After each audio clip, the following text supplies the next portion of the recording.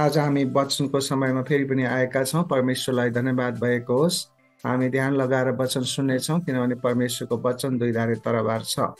परमेश्वरलाई धन्यवाद भएको होस्। आज तपाईँहरूको माझमा म एउटा कुराहरू सायद तपाईँले नसुनेको होला त्यो कुरा म लिएर आउँदछु। पत्रहरूको रानी भनेर तपाईँहरूले सुन्नुभएको छ पत्रहरूको रानी। किनभने बाइबलमा धेरै पत्रहरू छन् पत्र लेखिएका छन्। ती पत्रहरूको रानी भनेर एउटालाई भन्ने गरिन्छ। त्यो चाहिँ केलाई भन्ने गरिन्छ होला जस्तो लाग्छ तपाईँहरूलाई? पत्रहरूको रानी। एउटा पत्र यस्तो छ बाइबलमा जुन पत्रलाई एउटा चिठी यस्तो चिठी छ जुन चिठी अथवा पत्रलाई पत्रहरूकै रानी भन्दछ। हुन्छ। हामी म उत्तर पनि दिइहाल्छु अनि त्यसपछि तपाईँहरूलाई बुझ्न सजिलो हुन्छ। पत्रहरूको रानी भन्ने आजको शीर्षक छ। र पत्रहरूको रानी भएर एफएसीको पत्रलाई जनाउँदछ। एफएसीको पत्रलाई। त्यस कारणले आज हामी के गर्छौँ त भन्दाखेरि एफएसीको पत्रको बारेमा हामी कुराकानी गर्नेछौँ। एफएसीको पत्रले के बताउँदछ? एफएसी एफएसीको पत्रले के बताउँदछ मात्र होइन एफएसी कहाँ छ? एफएसी किन महत्त्वपूर्ण छ? एफएसी भन्ने ठाउँमा के हुन्छ? के भएको थियो? किन यो महत्त्वपूर्ण छ? भन्ने बारेमा बताएपछि बल्ल पत्रहरू जो जुन एफएसीमा लेखेको एक पददेखिको छ पदसम्मका कुराहरू छन् तिनीहरूलाई बुझ्न सजिलो पर्दछ। त्यसकारण आज हामी हेर्नेछौँ पत्रहरूको रानी एफएसीको पुस्तक। यो एफएसीको परिचय हामी हेर्नेछौँ। र एफएससीमा के भन्दछ पहिलो केही बुदाहरूमा म भन्नेछु पहिलो बुदा मेरो रहेको छ यहुदी र गैर यहुदी बिच एकता एफिसिसमा। भनेको मतलब यहुदी र गैर यहुदी बिच एकता एफिससमा भएको। कसरी त भन्दाखेरि लगभग त्रिपन्न इस्वीमा पावल प्रेरितले एफिसस भ्रमण गर्दा गर्नुभन्दा तिन सय वर्ष अगाडि नै अगाडिभन्दा अझ अगाडिदेखिकै समयमा एफिससमा यहुदीहरू गएर बसोबास गरिसकेका थिए। लगभग चौन्न चौन्न इस्वीतिर पावल आफ्नो तेस्रो मिसनरी यात्रामा निस्किएको कुराहरू हामी पाउँदछौँ। र यहुदीहरूलाई क्रिस्चियन धर्ममा गैर यहुदीसँग एकतामा ल्याउने प्रयास तिनले त्यहाँ गर्नको लागि तिन महिना बसे। तर यहुदी र गैर यहुदी एक आपसमा मिल्दै नमिल्ने। तिन महिनासम्म पनि नमिलेको हुनाले गर्दाखेरि पावरले के गरे त भन्दा होइन भएन। एपिसमा त यहुदी र गैर यहुदी छन्। उनीहरूलाई एकतामा ल्याउनु पर्छ भनेर अरू एक्स्ट्रा दुई वर्षसम्म त्यहाँ बसेपछि बल्ल केही यहुदीहरू केही गैर यहुदीहरूको बिचमा एकताको बिजारोपण भएको कुराहरू हामी पाउँदछौँ इतिहासमा। र त्यहाँबाट सुरु भयो कि यहुदी र गौर यहुदीको मिलाप त्यहाँबाट सुरु भयो। त्यसकारण गैर यहुदी र यहुदीहरूको मिलाप कहाँ भएको थियो त? भन्दा एफिससमा भएको थियो भनेर भन्नु भन्न सक्छौँ। त्यस कारण एफिसस ठाउँ एकताको महत्त्वपूर्ण ठाउँ रहेको छ। त्यस्तै गरिकन एफिसस दोस्रो पोइन्टमा के छ त? एफिससमा युहुन्ना। एफिससमा युहुन्ना भनेपछि एफिसस त्यति महत्त्वपूर्ण थियो कि यरुसेलमको चर्चलाई दमन गरिरहेको समयमा हामी प्रेरित प्रेरितबाट के गर्न पाउँछौँ युहुन्ना जुन छ त्यो इसा पूर्वको इसा पूर्व चार इसा पूर्वदेखि सय इसा पूर्वसम्म जुन युनाले त्यहाँ चाहिँ के गरेका थिए भने बसेका थिए। र एफिससमा आएको भनिएको त्यहाँ चाहिँ चार इसा पूर्वदेखि सय इसा पूर्वको बिचमा एफिससमै के गरे त भन्दा युहुन्ना बसेका थिए। युहुन्नालाई पछि के भयो त भन्दाखेरि एकसट्ठीदेखि छ्यानब्बे एडीतिर त्यहाँको सम्राट जुन छ त्यहाँको सम्राट डोमि डोमिटियन भन्ने सम्राटले के गरे त भन्दाखेरि त्यहाँ गिरफ्तार गरेको अभिलेखहरू पनि पाइन्छ। त्यसकारण एफिसस महत्त्वपूर्ण ठाउँ हो। एफिससलाई महत्त्वपूर्ण यसरी मानिएको छ कि जुन प्रकारको युनालाई पनि त्यहाँ समातिएको थियो। र पछि पछि उनी आफ्नो जीवनको बुढेसकालमा रिहा भएर उनी फेरि एफिसस फर्के। त्यहाँ पक्रेर त लग्यो तर फेरि पछि फेरि एफिससमा फर्के भनेपछि युनाले छोड्न नचाहेको ठाउँ एफिसस भनेर त्यसमा पनि महत्त्वपूर्ण कुरा छ।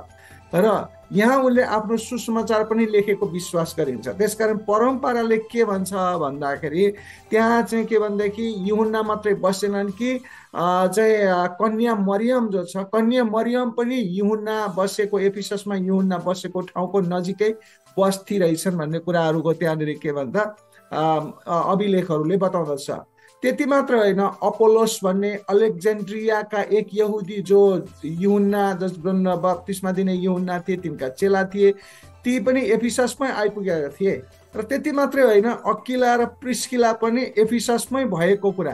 त्यहीँ बसेको कुरा त्यहीँ आउने जाने गरेको कुराहरू के भन्छ अभिलेखले बताएको हुनाले एभिसस भन्ने ठाउँ चाहिँ एकदमै महत्त्वपूर्ण ठाउँ छ किनभने सन्तहरूले त्यहाँ के गर्दा भन्दाखेरि बसेको ठाउँ छ एभिससमा त्यस्तै गरी त्यसैले गर्दा एफिसस ठाउँ सहर एकदम महत्त्वपूर्ण छ।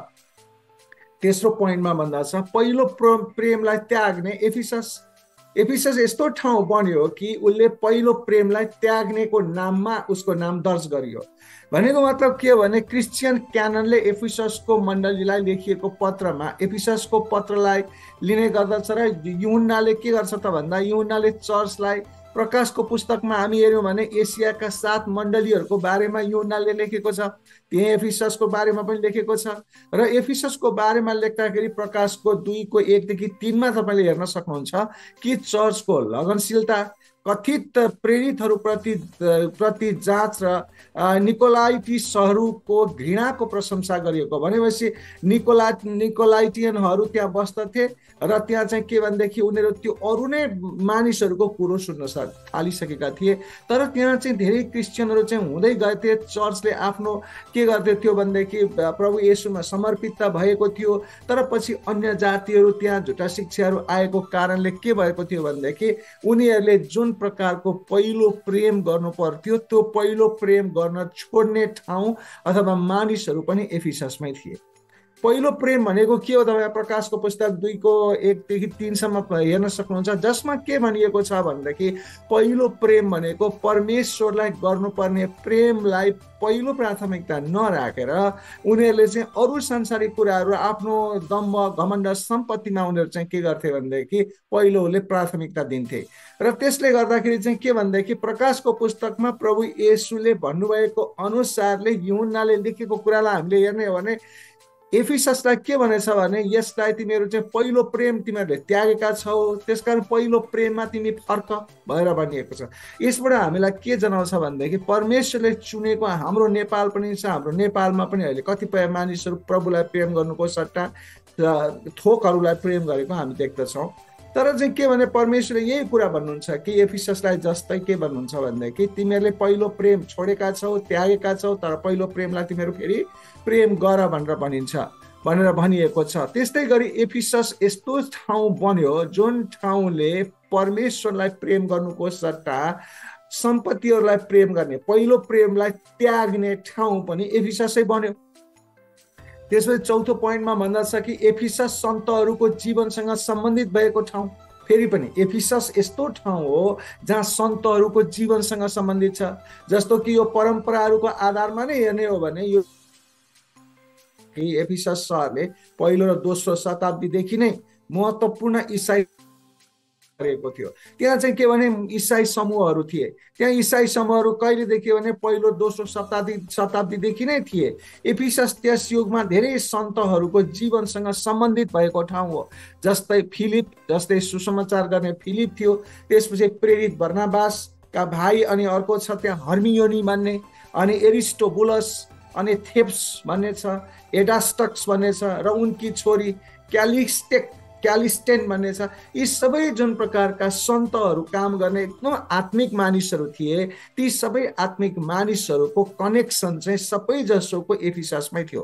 भनेको मतलब एफिससमा चाहिँ के भनेदेखि मानिसहरू जो प्रभु येसुलाई विश्वास गर्ने मानिसहरूले एकदम त्यहाँ चाहिँ बस्ने गर्दै उनीहरू मन परेको ठाउँ हो। यतिसम्म कि मरियम मगदलिनी भनेको छ मरियम मगदलिनी पनि त्यहीँ बसेकी थिइन् भन्ने विश्वास पनि गरिन्छ। यसबाहेक अरू इसाईका परम्पराहरू भए एफिससको पहिलो बिसप भनौँ एफिससको पहिलो बिसप प्रेरित तिमोथी भन्ने भनिन्छ जसलाई जसलाई तिमोथी पावलका चेला थिए। ती पनि एफिससमै आएर चाहिँ सेवाकाई गरेका थिए। त्यस कारणले गर्दा एफिसस यस्तो स्पेसल ठाउँ बनेको थियो जसमा प्रभु येसुलाई विश्वास गर्ने मानिसहरू त्यहाँनिर त्यहाँ आएर बस बस्दथे।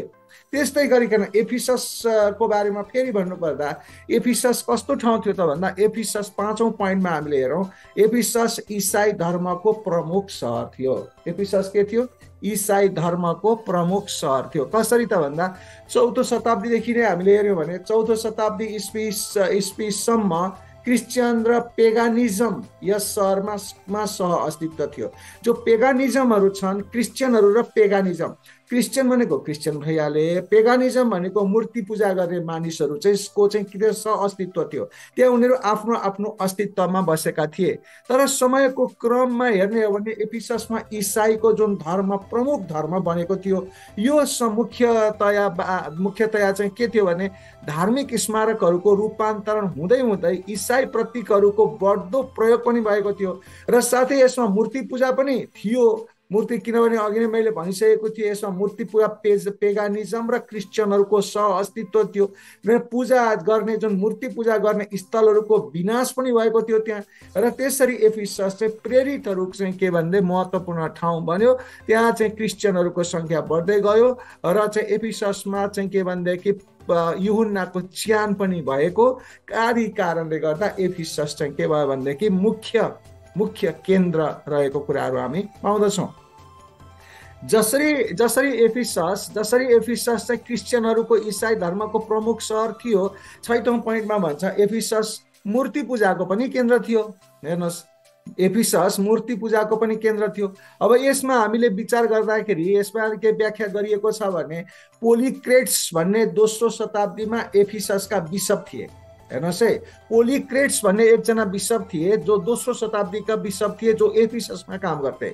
अनि त्यसपछि त्यहाँ डिस्कसहरू हुन्थ्यो जहिले जस्तो अहिले सामाजिक सञ्जालमा धर्मको बारेमा डिस्कस हुन्छ। त्यो डिस्कसहरू हुँदाखेरि चाहिँ के भनेदेखि त्यो जुन पोलिक्रेट्स भन्ने जुन एफिससका बिसप थिए तिनले चाहिँ के गर्थे त भन्दा इस्टर सम्बन्धी विवाद हुँदाखेरि रक्षात्मक बहस गर्दथे। रक्षात्मक बहस रोमका बिसप पोप भिक्टरले पनि गरेका थिए भने विश्वास गरिन्छ। यसकारण के त भन्दा पोलिक्रेट्स र एउटा के भनेदेखि अर्को भिक्टर भन्ने बिसप पोलिक्रेट्स भन्ने बिसप एफिससको र रोमको बिसप चाहिँ भिक्टर भन्ने दुईजना मान्छेले इस्टर सम्बन्धित विवादमा रक्षात्मक बहस गरेका थिए भन्नुको मतलब के भने इस्टर त देवीको नाम हो तर यिनीहरूले चाहिँ कस्तो बहस गर्थे त भन्दा इस्टर पनि हामीले स्वीकार गर्दा गर्दा हुन्छ भन्ने किसिमको बहस पनि गरेका थिए। त्यस कारणले अहिले आएर आज आएर जुन पोलिक्रेट्स र जुन बिसप जुन के भन्छ पोप भिक्टरको कारणले गर्दा उनीहरूका चेलाचेली थिए नि त। त्यसको कारणले गर्दाखेरि क्रिस्चियनहरूमा चाहिँ इस्टर देवी जुन छ इस्टर देवीलाई ग्रहण गरेको कुरा इस्टर देवीलाई पनि स्वीकार गरेको कुराहरू त्यहाँबाट बिस्तार बिस्तार आएको कुराहरू हामी पाउँदछौँ। त्यस्तै गरिकन त्यस्तै गरिकन त्यहाँ आर्तेमिस भन्ने आर्तेमिस भन्ने एउटा एउटा मूर्ति हो। आर्तेमिसको मन्दिर पुरातनको सबैभन्दा प्रमुख देवी काइबेलेको धार्मिक परम्परासँग सम्पर्कमा विकसित भएको पनि थियो। जुन उक्त समयमा संसारको सबैभन्दा महत्त्वपूर्ण धार्मिक केन्द्रमध्ये एक थियो। भन्नुको मतलब के त्यो त्यहाँ भन्दा जसरी इस्टर एउटा देवीको मन्दिर थियो हाम्रो जस्तो नेपालमा महादेवको मन्दिर कालीको मन्दिर यस्तो भनेको जस्तो त्यहाँ पनि इस्टरको पनि थियो आर्टेमिसको मन्दिर थियो पुरानो मन्दिर थियो त्यस्तै गरिकन काइबेले भन्ने किसिमको धार्मिक परम्पराको त्यहाँ मन्दिर थियो यी सबै प्रकारका मन्दिरहरू चाहिँ के थिए भनेदेखि त्यो त्यो एफिसस भन्ने ठाउँमा थियो त्यो चाहिँ त्यसै कारणले मूर्ति पूजकहरू पनि केन्द्र थियो त्यो। अर्तेमिसको मन्दिरको विश्वव्यापी प्रसिद्धि धेरै युगसम्म बस्यो।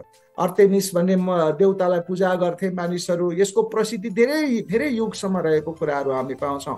त्यस्तै गरिकन न त अर्तेमिसको नाम ग्रिक पौराणिक कथाबाट आएको हो न त डायना रोमन कालको उनको नाम पुरातन ग्रिकका नामहरू हुन् न त ती कुनैबाट आएका हुन् तर अर्तिमसले चाहिँ उनको चरित्र र विशेषताहरू एनाटोलिया भन्ने मुख्य देवीबाट लिएको देखिन्छ।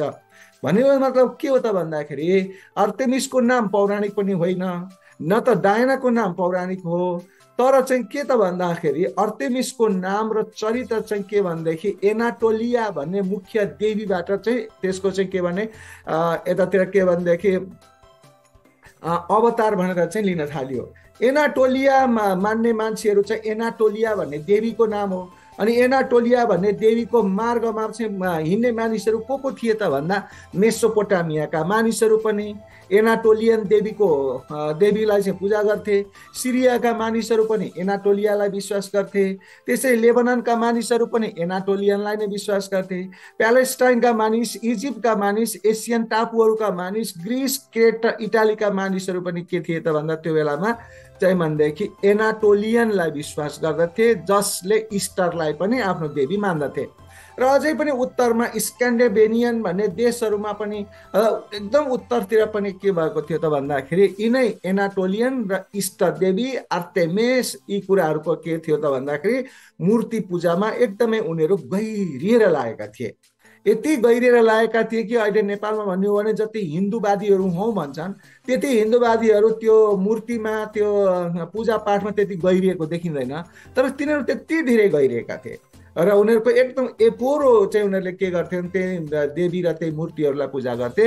र हजारौँ वर्षसम्म चलेको विकासको परिणाम स्वरूप पछि के हुन आयो भन्दा देवी जसलाई जसलाई भनेर भनिएको छ एनाटोलियन भनेर देवी भनिएको छ जसले प्रजनन क्षमताको प्रतीक बनाउने रहेछ। त्यसकारण एफिससको अर्तेमिस अर्तेमिसमा नयाँ स्वरूप त जुन प्रकारको भनिएको देवी छ एनाटोलियन देवी भनेर एनाटोलियन देवी भनेको जुन छ त्यो एनाटोलियन देवी त के रहेछ त भन्दाखेरि इस्टरको स्वरूप रहेछ। त्यसकारण इस्टरको स्वरूप रहेछ भनेपछि इस्टरको झन् त्यहाँ पढि के भयो त भन्दा प्रचार भयो। अब हामीले हेरौँ भनेदेखि कस्तो त्यहाँनिर कन्ट्राडिक्सन थियो भने एफिसमा मूर्ति पूजकहरूले पनि आफ्नो कुरा एकदमै धेरै विकसित गर्दै लगेका थिए र पछि गएर उनीहरू इस्टर देवीलाई चाहिँ बढी चाहिँ प्राथमिकता दिएर पूजा गर्दथे यतातिर के भयो त भन्दाखेरि क्रिस्चियनहरू पनि त्यत्तिकै चाहिँ के भनेदेखि अगाडि बढिराखेको अवस्था थियो र दुईवटा दुईवटा जुन प्रकारको ग्रुपको एक किसिमको त्यहाँ टसल हुने अवस्थाहरू पनि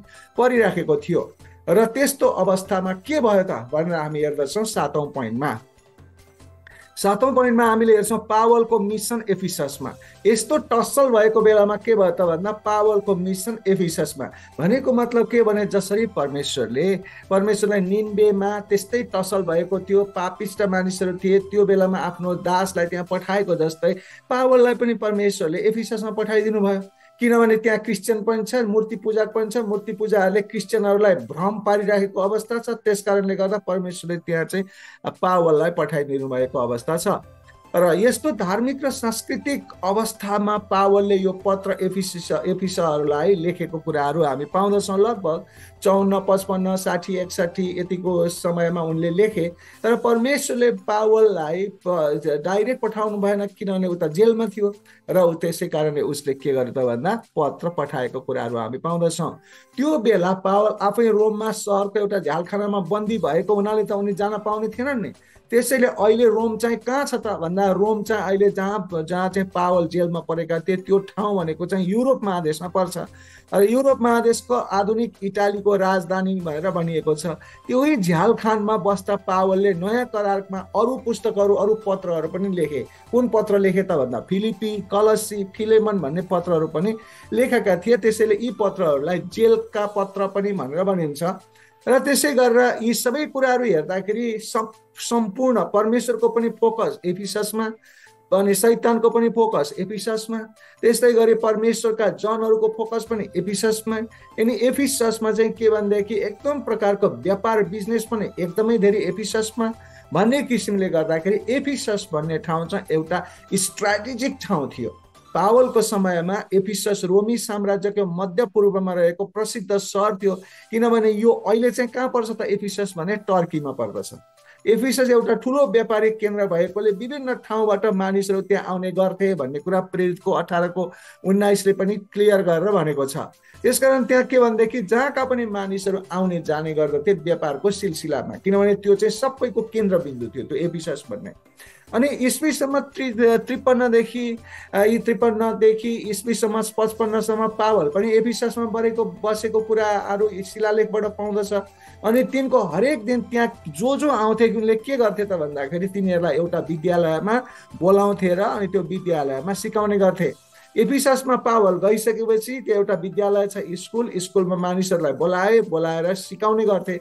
अनि तिनीहरूमा धेरैजनाले चाहिँ विश्वास गर्न थाले र केही समयपछि के भयो? त भन्दा एउटा क्रिस्चियन मण्डली त्यहाँ स्थापना भयो। र एफिससमा एउटा क्रिस्चियन मण्डली स्थापना भइसकेपछि एफिसस मुख्य सहर भएकोले ठाउँ ठाउँबाट आउनेहरूको सङ्ख्या प्रशस्तै हुने हुँदा मण्डलीमा मानिसहरूको सङ्ख्या वृद्धि हुन लाग्यो र धेरैजनालाई पावलले प्रचार गरे। पावलको प्रचार धेरैजनाले सुने र उनीहरू क्रिस्चियन भए र ख्रिस्ट समाचार ग्रहण गरे क्रिस्चियन भएर त्यो सहरबाट घरतिर फर्केर जाँदाखेरि उनीहरूले पनि आफ्नो गाउँ घरमा पावलबाट एफिससमा सिकेको कुराहरूलाई लिएर उनीहरूले आफ्नो ठाउँमा के गरे मण्डलीहरू फैलाएको कुरा प्रेरितको उन्नाइसको आठदेखि दसले बताउँदछ। त्यस कारणले पनि के हो त भन्दाखेरि एपिससमा एकदम महत्त्वपूर्ण एपिसस छ भन्नुको मतलब यो पनि हो कि एपिससमा धेरै मानिस आउने क्रिस्चियन हुने आफ्नो गाउँमा जाने चर्च स्थापना गर्ने। यसरी चर्च चाहिँ के भने परमेश्वरले त्यो एपिससबाट जुन प्रकारले अनि जुन प्रकारले पहिला यरुसेलम अनि यहुदिया सामरिया पृथ्वीको अन्तिमसम्म भने जस्तै गरेर एपिससलाई पनि परमेश्वरले प्रयोग गर्नुभएको कुराहरू हामी यहाँ देख्न सक्दछौँ। त्यसपछि त्यसपछि आएर अब आठौँ पोइन्टमा हामी हेरौँ भने एपिसस पत्रको उद्देश्य के हो त उसो भए? भन्दा एफिसस पत्रको उद्देश्य चाहिँ के हो भनेदेखि एफिससहरूलाई मात्र होइन यो पत्र लेखेको तर वरपरका अरू मण्डलीहरूलाई पनि पावलले यो पत्र लेखेका हुन् भन्ने कुरा धेरै बाइबलका विद्वानहरूको विचार छ।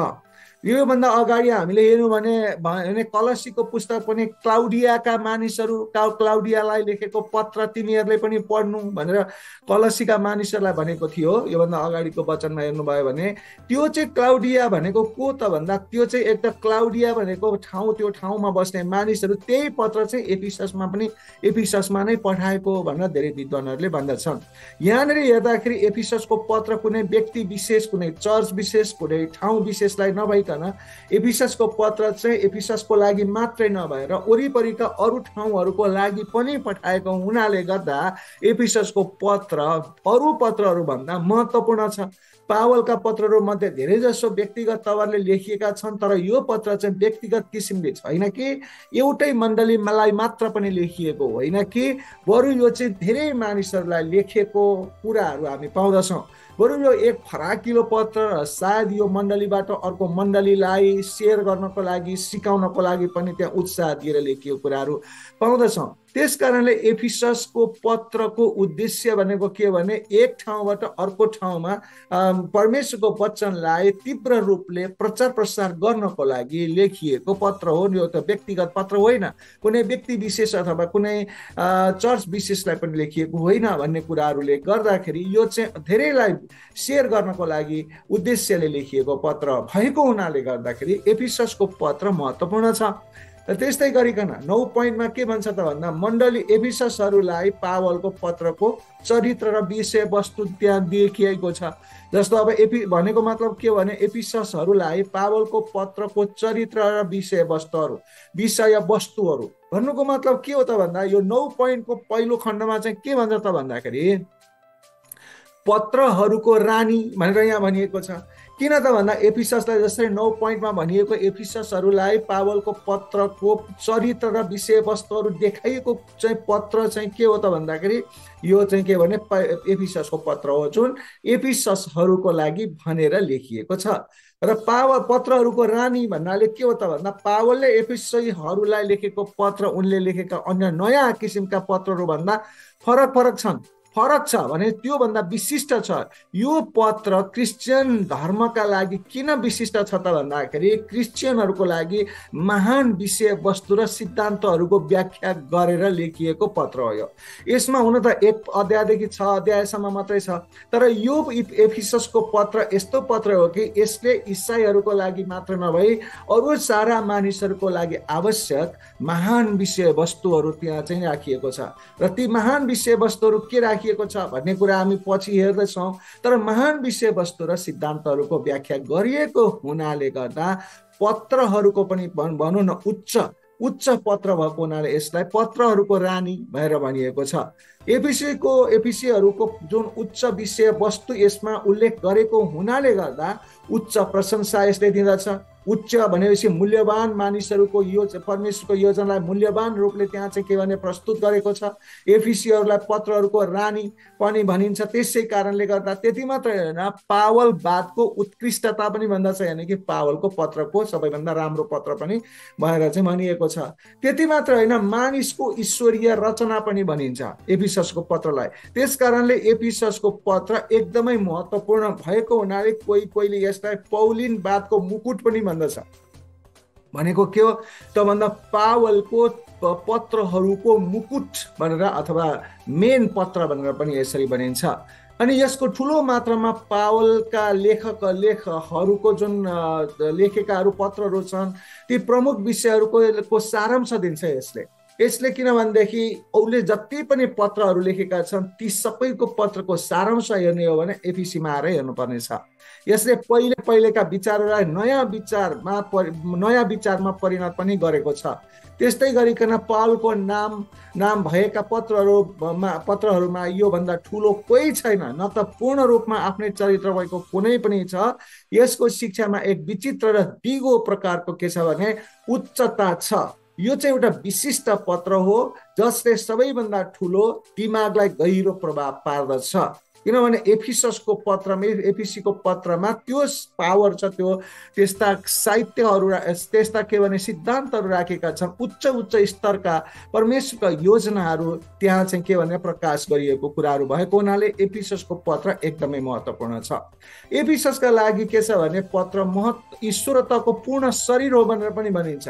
ईश्वरत्वको पूर्ण शरीर यसले देखाउँदछ ईश्वरत्व कस्तो हुनुहुन्छ? प्रभु यसु के हो भनेको उहाँको पूर्णत्व भन्नु छ फुलनेस अफ गड भन्दछ त्यो पनि देखाउँदछ यस पत्रको पहिलो अध्यायमा नै के भनिएको छ भनेदेखि सुसमाचारका सिद्धान्तहरू समावेश गरिएका छन्। अर्कोमा इसाईहरूको अनुभवको बारेमा पनि उल्लेख गरिएको छ र यो पत्र समाप्त हुनु अघि क्रिस्चियन विश्वासका उपदेशहरू पनि राखिएका छन्। अन्तिम पत्रमा के भनेदेखि सैतानसँग कसरी मुकाबिला गर्ने कुराहरू पनि राखिएको छ र त्यस्तै गरिकन जसले क्रिस्चियन धर्मलाई एउटै ग्रन्थमा देख्न चाहन्छ भने उसले एफिसीहरूको पत्रलाई पढ्न पढ्न पर्छ भनेर केही थियोलोजनहरू मैले सल्लाह पनि दिँदछन्। पावलको पत्रहरू राम्रोसँग बुझ्ने हो भने सबैभन्दा महत्त्वपूर्ण पत्र भनेको एफिसीको पत्र नै हो भनेर धेरैले बताउँदछन्। किनभने एफिसीको पत्र पढिसकेपछि पावलको अरू पत्रहरूले पनि के भनेको रहेछ भन्ने कुराहरू हामी थाहा पाउन सक्छौँ। त्यस कारणले यो एफिसीको पत्र एकदमै महत्त्वपूर्ण छ। त्यस कारण यसलाई पत्रहरूको रानी भनिँदछ। त्यस्तै नौ नौ पोइन्टको दोस्रो खण्डले के भन्छ भने नयाँ समाज यसुद्वारा पुरा। नयाँ समाज यसुद्वारा पुरा भनेको मतलब के हो त भन्दाखेरि रोमीको पत्रले व्यक्ति व्यक्तिगत किसिमको क्रिस्चियनहरूमा परमेश्वरको काममा बढी ध्यान केन्द्रित गर्दछ भने एबिसीको पत्रले चाहिँ के गर्छ भन्दा चर्च विश्वासीहरूको समुदायमा परमेश्वरको कामको महानतालाई समावेश गरेको छ। के को महानतालाई? त भन्दा चर्चको महानतालाई विश्वासीहरूको समुदायको महानतालाई यसले के गरेको छ? प्र्याक्टिकल रूपमा समावेश गरेर लेखिएको पत्र हो। जस्तो यहाँ उदाहरणको लागि काल मार्क्सको कुरा गरौँ जस्तो अब यहाँ कम्युनिस्टहरूको कुरा। काल मार्क्सले चाहिँ के गर्यो त भन्दा काल मार्क्सले चाहिँ नयाँ मानिस र नयाँ समाजको बारेमा लेखेको थियो। तर तर उसले मानिस र समाज लगभग विशुद्ध आर्थिक रूपमा हेरेको थियो र आर्थिक जवाब मात्र दिन्थ्यो काल मार्क्सले भने एफिसको पत्रमा पावलले चाहिँ के गरेका थिए भने मानिस र नयाँ समाजको साथै सबै कुरो आर्थिक कुरामा होइन सबै कुरो सबै सबै कामहरू यसुको कामद्वारा नै पुरा हुन्छ भनेर उनले लेखेका थिए। त्यसले गर्दाखेरि काल मार्क्सले एकातिर आर्थिक कुरा मानिस र आर्थिक कुरा लेखे र पावलले चाहिँ मानिस र आत्मिक कुरा लेखेको कुराहरू पाउँदछौँ अहिले हामी हेर्दाखेरि के भनेदेखि आर्थिक कुरा त खेर जाने कुरा हो।